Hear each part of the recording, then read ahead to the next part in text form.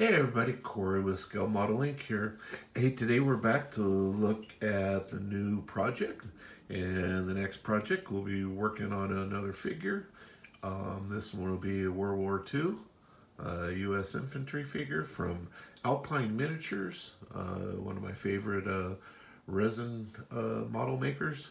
Um, this is the 16026 U.S. Infantry Division, the big red one. Uh, I really love this figure. Um, and as you can see, I've got it all assembled. Um, got it all glued together and pinned and what have you. I made a base for it out of Sculpey. Um, just, uh, and then that's the Sculpey firm. Um, added some ground scatter and a little bit of groundwork on it um, stones and that kind of thing.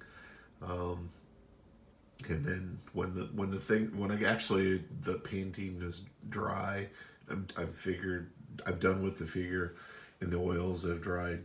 Then I'll add probably a little bit of uh, um, ground cover um, to that, and some probably some tufts, but we'll see on that. Um, but yeah, and then this will this will attach to a little wooden base that I have. So, and the head is um, I'll paint that separately.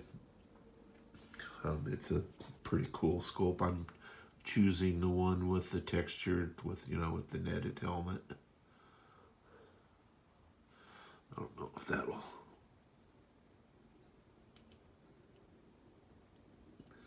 Pretty cool anyway, looking forward to get going on this one. So uh, I'm going to prime it up and then uh, do a base coat in acrylic.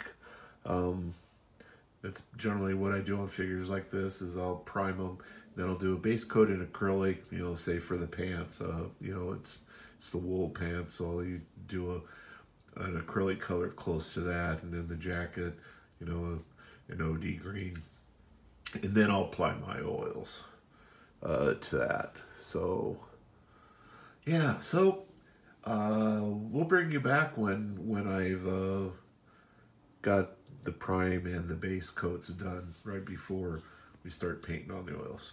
We'll see you in a bit. Hey everybody, just back to get a quick look here. Um, what I've done so far, I have um, uh, put a little bit of a base coat on the uh, the boots and the pants there. Just used a light um, sandy color. Uh, I think I'm going to go back over that with more like a burnt umber color in acrylics. And then um, I put a very light green acrylic base coat on the uniform and then um, did a base coat of flesh and I have painted the rifle in acrylics just basic uh, beige brown from Vallejo on the rifle stock and then black for the for the rest of the gun that'll the oils then will go over all the rest of this stuff. And then on the uh, the head, um, I did a uh, an acrylic uh, flesh um, base coat, and then I did uh, just a, an olive drab uh, base coat on the helmet. So we're ready to get rolling on the uh, oils here, and I think I'm going to start with the head first and when I get my first uh, round of oils put on there, I'll bring bring you back. Hey everybody, just back here to give a look at where we are now. Um, I've got the base coat of the oils uh, in place. Um, well, the head is done. It's pretty much done.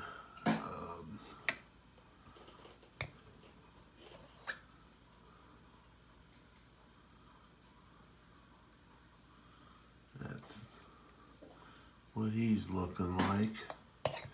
Uh, may do a little bit of more highlight on it. I'm not sure yet. Uh, base is pretty much done. And uh, the shirt jacket, uh, I've got it ready for, you know, the next round of um, highlights and probably have to reestablish some darks there. Uh, same thing with the pants and the boots. So for the, let me pull back here and look at my palette here.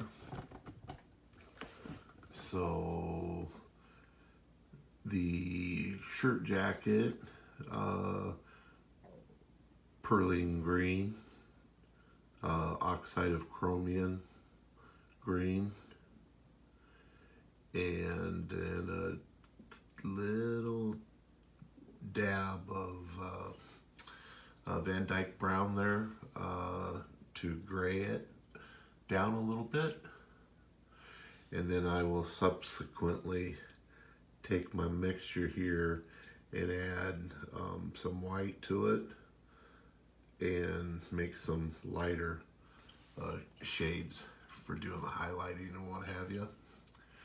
And then, uh, let's see here. The pants was burn umber and uh, some Van Dyke brown to gray it out just a little bit and uh, scumbling that into the to the uh, folds and stuff. And then the the boots I actually painted in acrylics. And then the um, leggings I I made mixed up some khaki. Khaki I mix uh, yellow ochre and white.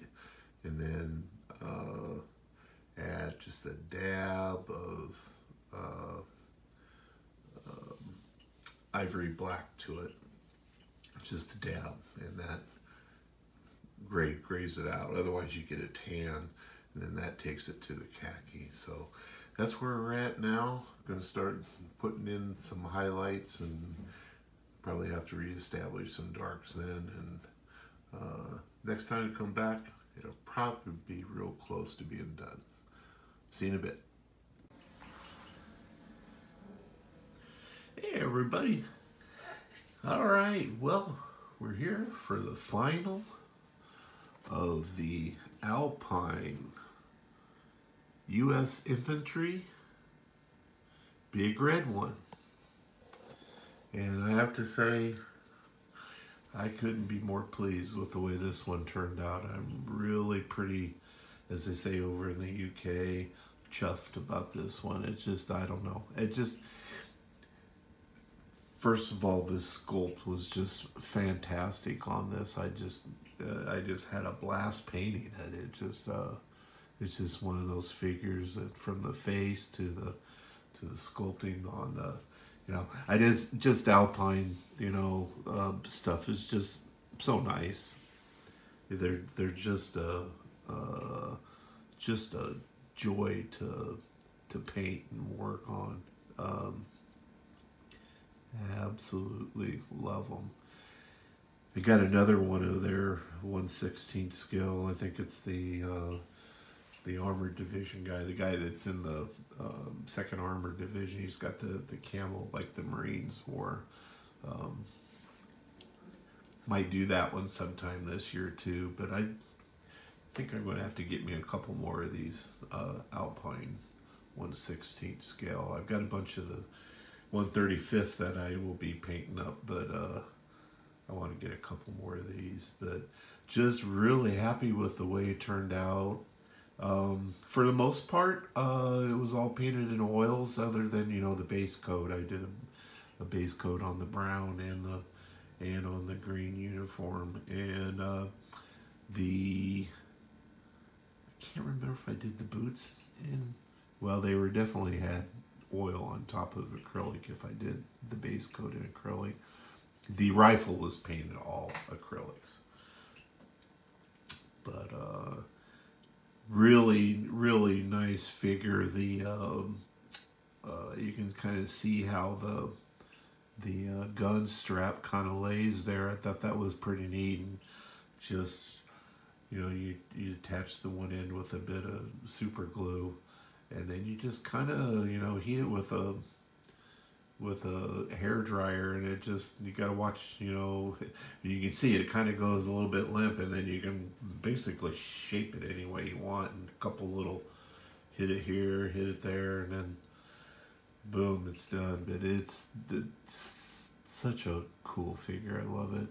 Um, and i like it that you know you don't end up having to mess with decals and stuff when it comes back around here you can see on his one shoulder they got the the uh, insignia is is uh, sculpted into the figure, so it makes it pretty easy to um, to paint up. But uh, overall, just very very happy with this one. There are going to be some still photos at the end here, so um, stick around for that. All right, guys, I appreciate it. We'll catch you on the next one.